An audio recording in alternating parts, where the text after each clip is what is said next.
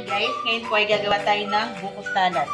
Yung buko salad natin ay uh, panghanda para sa ngayong darating na New Year.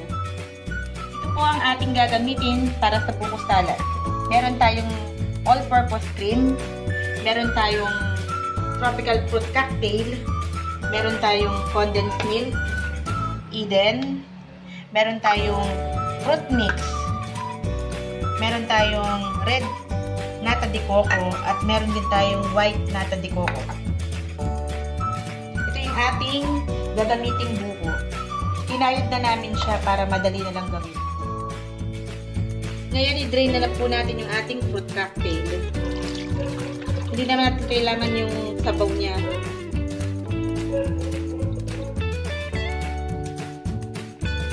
Halo-halo lang yung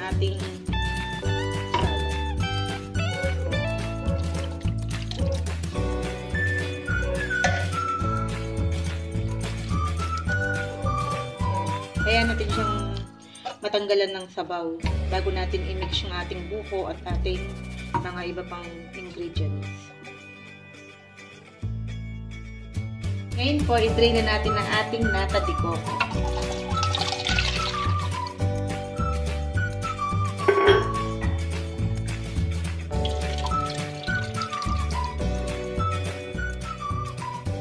Ngayon po, i-chop natin yung ating hidden cheese.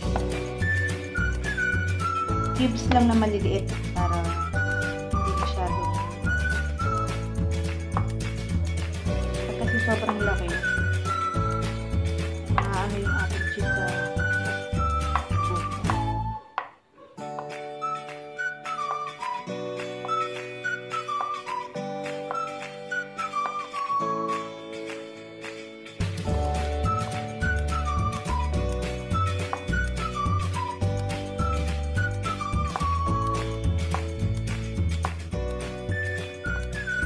Ngayon ay mix na natin yung ating mga ingredients.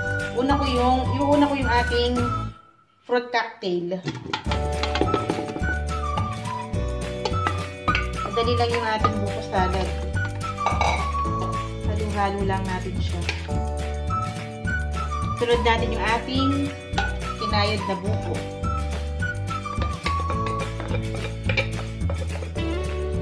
Yung buko natin, dapat lagyan na natin ng condense para hindi siya iitim.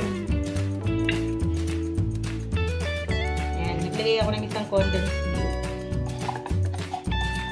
Para habang naghahalo ako, hindi siya iitim.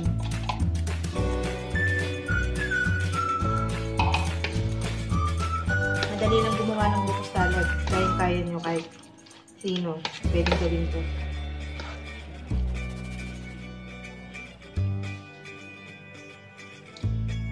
Naglagay ako ulit ng isa pang condensed milk.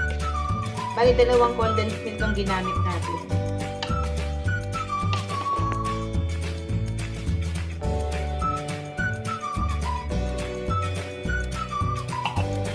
Pwede naman tayo magdagdag kung medyo matabang siya sa condensed. Madali lang yan, mga guys. Ito yung ating all-purpose cream.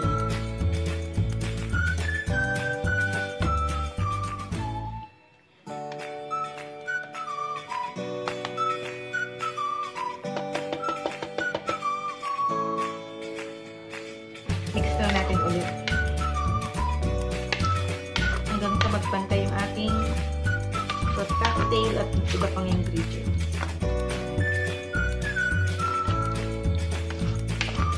Ngayon, isusunod ko yung ating nata de coco.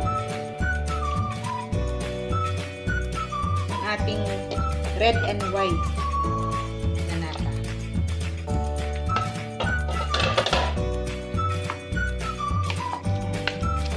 Naglagay ako ng red para medyo maganda yung kulay. Ilalagay tayo ulit ng isa pang all-purpose cream. Dalawan din ang nilagay ko para pantay yung ating lahat. Pan, ah.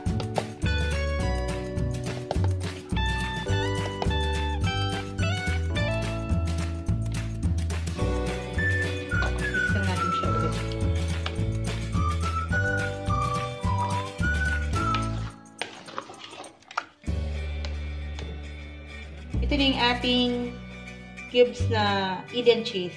Pwede na natin siyang ihalo.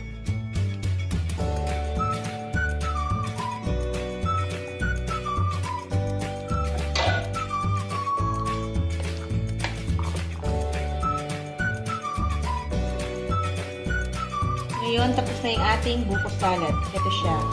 Ready na natin siya ilagay sa ating food container.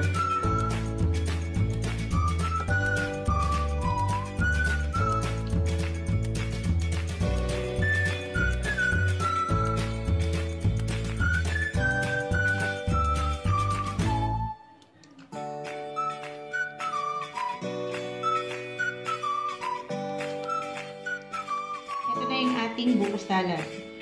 Pwede natin siyang takpan at ilagay sa ating refrigerator para lumamig at para mas lalong masarap.